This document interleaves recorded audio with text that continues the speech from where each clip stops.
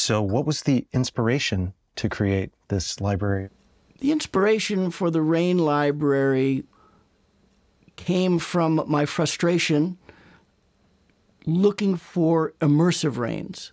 And what I discovered, even as I went through my own libraries, as well as commercial libraries I've purchased and that I've used in the past, is that most rain was mono or stereo and was usually recorded by pointing at rain, pointing a microphone at the rain. And it was always the sound that was in front of you because, of course, when you record, you don't want to be out and getting wet and your microphone's getting wet. And I thought I couldn't find immersive rain. I couldn't find anything in 5.1 or 7.1 or 7.0 or 7.12. And I thought this this is something I need to start recording. I need to start capturing rain immersively and start capturing rain with the kind of textures I'm looking for. Um, one of the challenges with rain and most rain recordings is that it's a very broadband sound. It's it's a noise based sound, and if you listen to most rains and you're not really being critical with your listening, it sounds like it doesn't have texture. And more importantly, rain does most rain recordings don't sound wet. And that's a function of having the right microphones in the right place um, um, and with the right environment to capture that kind of sound. So I set about I live in Southern California. This is a fool's errand, recording rain in one of the driest parts of the United States. But as would happen in early 2019, we had one of the biggest deluges in, in Southern California history that allowed me to go out and capture a great deal of the uh, rain library. Not all of it was captured during that rain. Some of it's been captured during this recent deluge um, that we've had and one that we had last year. And that would see me go out into the field and get drenched. I mean, there's there's no way around capturing rain immersively without getting wet because I need to record in front of me, on the sides of me, and behind me. That means my microphones need to be out in the middle of rain, so it's capturing you know in in 360 degrees. So that meant um, casting locations, being willing to get drenched, and maybe building some hardware and technology that allowed me to do that without compromising my equipment. Why do you think this uh, particular library will be useful for sound artists? Well, first and foremost, it's an immersive rain library. I hadn't seen one. One may exist, but this one was captured specifically to be immersive. So if you have a scene of people out in the world and rain is falling on them, this is a great uh, collection of sounds to use that puts the audience in the middle of the rain, just like the characters are. The mics were capturing the rain in front of me and behind me and to the sides of me and above me in some cases. And why is it good to have like a variety of sounds of rain as far as storytelling goes and using it in films and different uses? Well, the variety starts with usually the surfaces. I mean, you want rain is very useful if you have it on concrete and you have it on grass, and you have it on dirt, and you have it on mud, and you have it on tin roof, and you have it on asphalt roof, and you have it on wood, and you have it on leaves and trees. So, a, a big part of the challenge is capturing the variety of textures that you want out of the rain. And then, of course, there's, there's volume the volume of the rain, not the loudness of the rain. Um, you have light rain, heavy rain, medium rain, drizzly rain, drippy rain, and then you multiply that by the numbers of textures that I just enumerated, and you can see that this can be a, a, a quite an undertaking to capture the kind of variety that most sound designers are looking for or, or need to be able to choose from.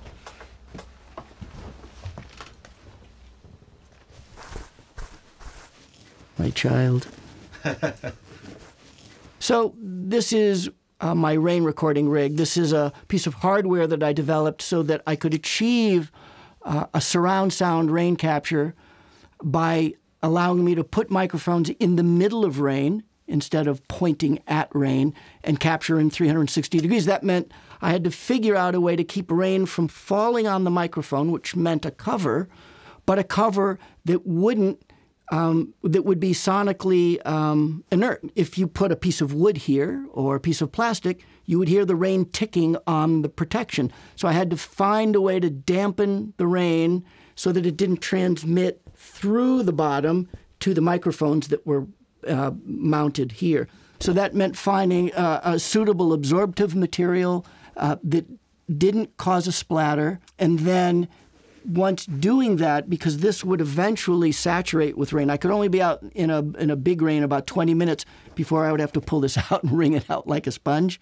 But allowed this to absorb rain for about 20 minutes, and then there's this very inert rubber underneath that separated this from transmitting to this, which would transmit to the microphones. So that meant that underneath here, this could, what you're trying to separate you from is the sound of the rain transmitting through this material through to a microphone that could capture it. So there, this is virtually dampened. The, the signal to noise here of, you know, 25 dB here is about zero here. And so I would plant microphones in this area, and then this would go out into the middle of a field or a parking lot or a forest and, along with me. And this, then I, I had, I didn't bring with me the custom rain-proofed cables that would go to my recorder, which would be underneath a rain jacket of mine with about 20 feet of cable because this would also pick up the rain splattering on me. So to do this correctly, I also had to wear an absorptive material, which means I couldn't wear a raincoat. So I could go out with this for 20 minutes. This would soak up for 20 minutes. My jacket, which was soft cotton, would soak for 20 minutes. And then we'd all have to go indoors and change and wring out and then go back out and plant this down into some location. So these sounds that I'm going to play, are they were they all recorded with this rig? No, um, sometimes, especially some of the forest recordings, there's enough tree cover with enough high foliage that's damping the, the rain. So I, I could usually scout a spot that was under a tree with enough branches and leaves that gave me a satisfying recording um, without having to use the rig.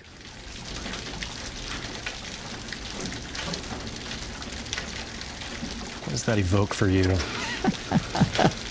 That's first of all, it's a it's a pretty serious deluge. You can hear the the very thick, rich, dense rain splatting on concrete and an overhang of some kind. I hear two different sounds there, but that is an example of rain that sounds very wet because it's puddling.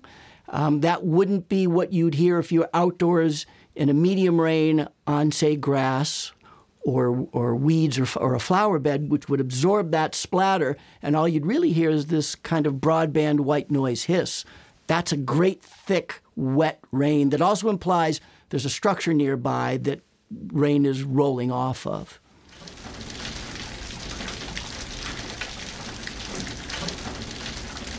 So here's the second sound.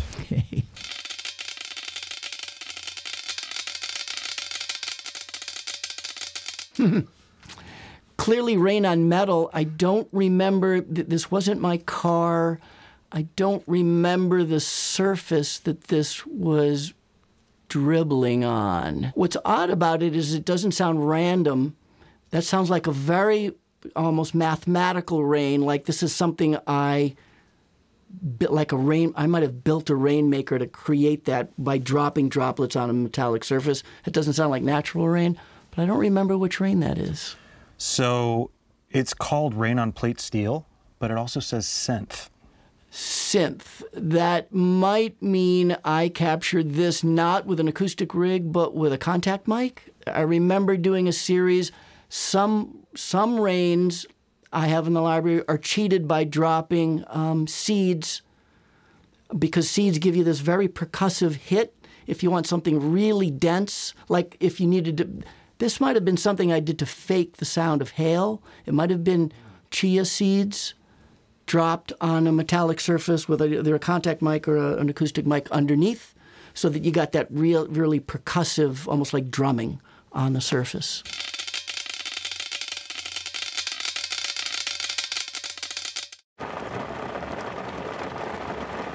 Well, that's that's an indoor rain.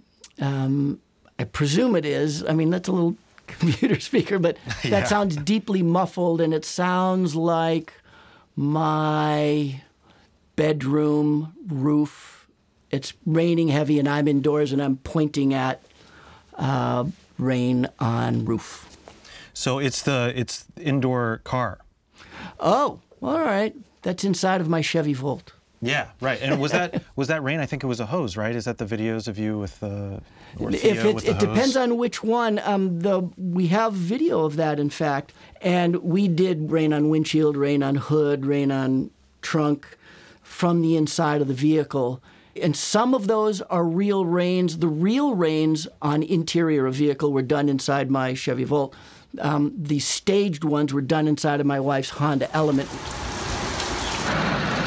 and that we used a hose with like a you know a flower bed sprayer head on and we just shower the, the top of the car and put the mics on the inside. Okay. You made me feel like I was actually driving through a rainstorm.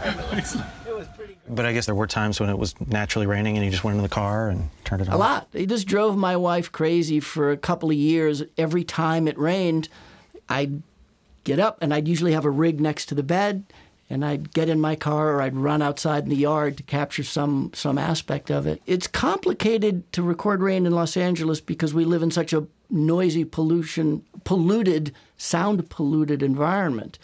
So a good deal of this would happen at 2 and 3 in the morning.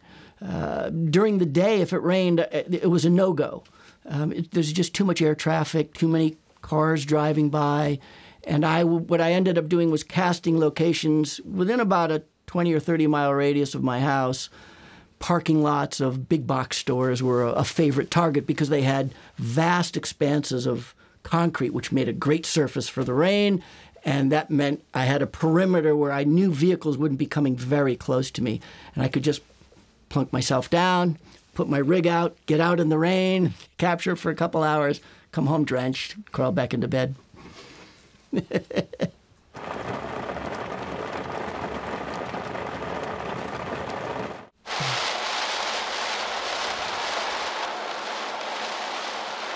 It's a really evocative, but what what is that, Brent? That sounds like rain on glass window, or or like one of my big living room windows. I can't remember. It's on a windshield while driving. Oh, I, yeah, I did a whole series. I, you know, that's the funny thing about rain. Um, you know, most of us record rain and we think of it as this static event, but I wanted to impart some movement in it. You know, if you had a scene of somebody driving in the rain, you'd probably go to your library and get your favorite rain on glass or something like that, or rain on windshield, and everybody records those stationary because it's a lot easier to do that.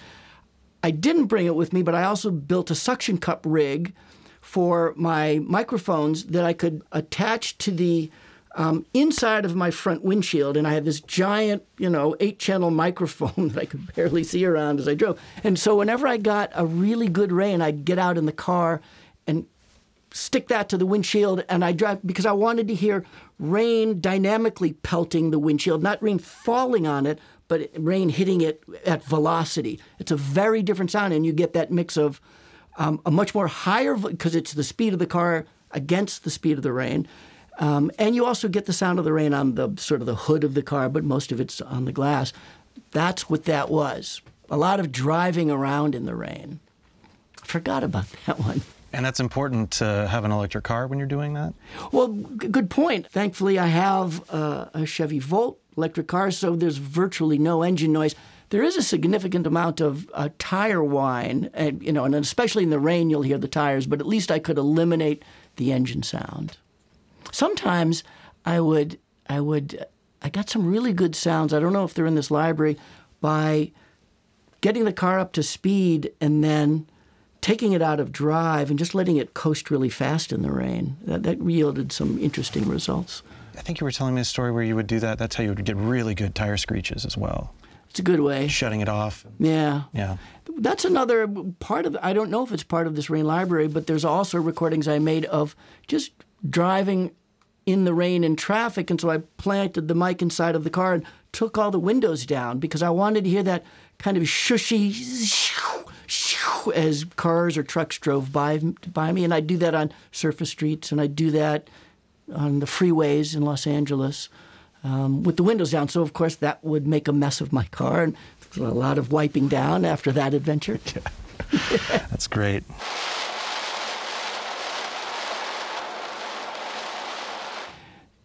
Um, I think this rain library is is pretty useful because, for me, it's certainly the wettest rains, and that uh, for some reason, as a sound designer, I'm always looking for wet rains versus the noisy rains, the shh. The bacon sizzle. Yeah, the bacon sizzle. That you know, and that you always you fight that in a mix. It, the, often you put up. You know it's a big dense rain. You know you recorded it and you were there when you did it. And you put it up, and the, the filmmakers say, "What's that hiss?"